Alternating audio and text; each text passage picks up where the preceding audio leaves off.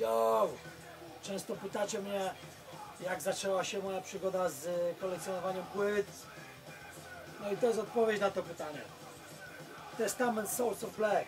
To była pierwsza kaseta, jaką kupiłem oryginalną. Chociaż nie do końca można powiedzieć, że oryginalną, bo wtedy firma Takt waliła piraty na potęgę. Można było to kupić na wszystkich bazarkach. I były to oczywiście piraty. Myślę, że wynikało to z tego, że y, nie było w Polsce jeszcze uregulowane prawo w, w kwestii praw autorskich. Y, No tak czy inaczej były to piraty, jakieś tam polskie czy czeskie, y, czy, czy polskie czy czeskiej produkcji piraty. No ale mieli super katalog jak na tamte czasy, lepszy niż w jakichkolwiek innych sklepach, także ryneczki, bazarki rządziły się swoimi prawami.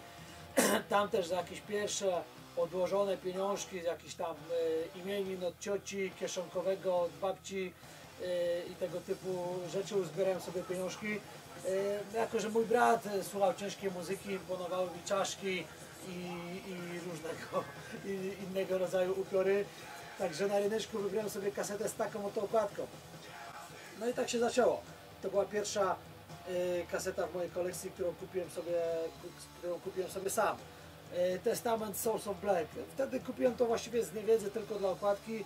Y, jednak okazało się, że jest to bardzo dobry album. Y, Czwarty album grupy Testament wydany w 1990 roku. Y, No, Testament, jakby nie patrzeć, legenda trash metalu. Ten album był nieco inny od, od wcześniejszych dokonań grupy. To był, to, to, tak jak mówiłem, jest ich czwarty album. Lżejszy na pewno niż, niż reszta. Ale to, co Alex Skolnik wyczynia tutaj na gitarach, to jest na, tam, na tamte czasy to było chyba nie do przebicia, żeby ktoś takie solo wywalił. Zupełnie inne w każdym kawałku, także polecam sobie sprawdzić ten album.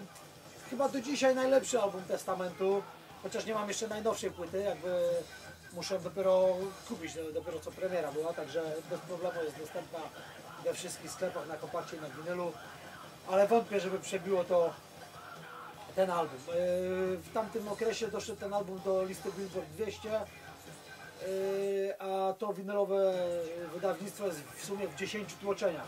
Ja mam edycję na, to nie jest pierwszy press, yy, gdzieś tam późniejszy, yy, limitowany i indywidualnie numerowany na 1000 sztuk, czerwony winyl. No, trash metal w najlepszym wykonaniu.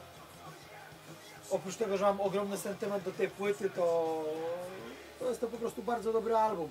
Może w tamtych czasach zarzucano troszeczkę próbę naśladownictwa Jamesa Hetfielda z Metaliki, jeśli chodzi o wokal, ale nie do końca się z tym zgadzam. Myślę, że tam jakiś dziennikarz z Metal Hammera był yy, ogromnym fanem Metaliki.